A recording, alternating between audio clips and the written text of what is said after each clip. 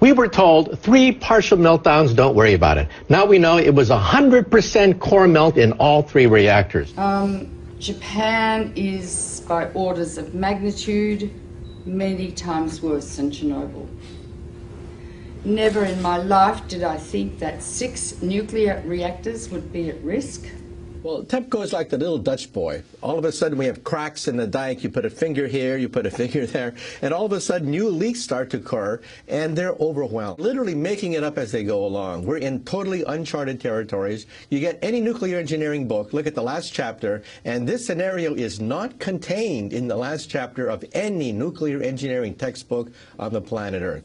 So they're making it up as they go along, and we are the guinea pigs for this science experiment that's taking place. All radiation is damaging. It's cumulative. Each dose you get adds to your risk of getting cancer.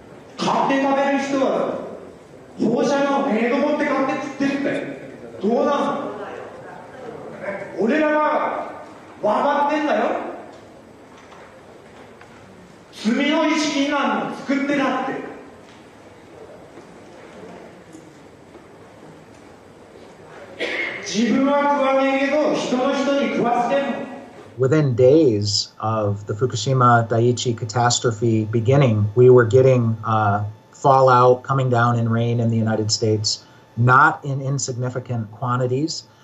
And also, of course, the, uh, the seafood. Um, not only does the ocean's currents bring the radioactivity this way, but also uh, the sea life itself, the bluefin tuna, uh, migrated from Japan to North America and carried the radioactive cesium in its flesh over here.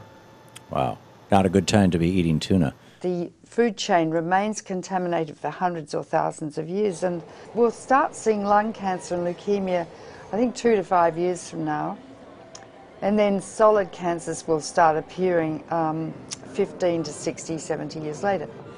So the ace up the sleeve is of the nuclear industry is the incubation time for cancer. It takes a long time for cancers to develop once you have inhaled or been exposed to these radioactive elements.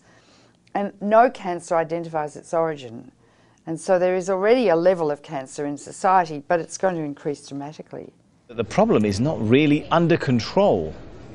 It will Doesn't it? be under control for, it's estimated between 40 and 100 years from now. There's no way to clean it up. They say 40 years, but they can't clean it up. They can't. And the site's still unstable and vulnerable to natural disasters. If there is another earthquake, a serious one, six, seven, eight, or nine magnitude, that would rattle all these 10 1,060 tanks. It would rattle the, the, the damaged cores, spent fuel, who, whose structures have already weakened. Yes, that's a potential very, very serious threat.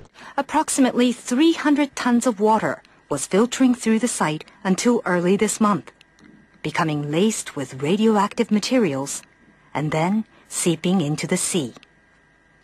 Another factor is the ever increasing amount of water accumulating inside damaged infrastructure. Once it makes its way into reactor buildings, it mixes with radioactive isotopes. For months, TEPCO workers have been pumping up 400 tons of water every day and storing it in tanks on site. Uh, the, there's 10 uh, 1,060 tanks, stainless steel water tanks, that are holding the water which they keep pumping into the, into the uh, damaged reactors and the uh, uh, spent fuel storage pools. From the air, the scale of the problems at Fukushima become clear. The growing mass of storage tanks now dwarfs the plant itself. More than a million tons of highly radioactive water is now stored here. But the tanks have been hastily built. They're made of steel plates, bolted together, rather than welded. Last week, workers detected a major leak in one of those tanks. About 300 tons of water escaped, releasing several quadrillion becquerels of radioactive particles. Experts have often pointed out how vulnerable they are to damage. The tanks, though, have been put together very quickly. There's no guarantee they'll last. Their seals are made of rubber, and the joints and, and bolts are corroding, and they may last not more than five years. So the tank farm has grown dramatically, and it's on the hill. Of course, the problem is because it's on the hill, the um, water flows down, and if there's an earthquake, all of these pipes are held together with plastic piping, not much different than what you've got on a swimming pool. So the plastic pipe will will will um, snap, and that water will just run right down that roadway directly into the ocean. And how long the contamination has been leaking into the water? Very likely since the uh, explosions and the meltdown at uh, Fukushima Daiichi in March of uh, 2011. Wow, that, that is quite a long time. Now, how much and what sort of radiation is leaking into the Pacific? I know there's all different types, so if you can explain that right. in a little detail. Well, clearly what we've seen now is the movement of radioactive hydrogen, tritium, uh, which uh, is a uh, mobile uh, radioactive isotope, but clearly um, radioactive cesium 134, 137, strontium 90. We're seeing a full range of radioactive contaminants now moving, which indicate that uh, the damaged cores of these reactors, the meltdowns themselves, uh, have are now contributing to the contamination of the Pacific Ocean and groundwater that's moving at a, about a, a, rate of a 300 to 400 gal, uh, metric tons uh, per day. So that radiation has been leaking into the water and polluting the fish continuously for the last two years. Radioactive iodine-129, its half-life is 17 million years, plus strontium, plus cesium, plus tritium, and I could go on and on and on. If it gets into the sea, the algae concentrated hundreds of times, then the crustaceans concentrated hundreds of times, then the little fish, then the big fish, then us because we stand on the apex of the food chain. You can't taste these radioactive elements, you can't see them, and you can't smell them. They're silent. This graphic shows the gradual contamination of the Pacific Ocean due to leaks of radioactive water from the crippled Fukushima nuclear plant in Japan. The simulation, which was run by a German Marine Research Institute, shows the entire Pacific waters being polluted by radioactive water in just six years. The fuel core of Unit 4 at the Fukushima Daiichi nuclear plant. More than 1,500 fuel rods sit in a damaged storage pool 30 metres above ground. The, the amount of radioactivity within the in the rods themselves is about 14,000 times that of the, the Hiroshima bomb. We are dealing with diabolical energy.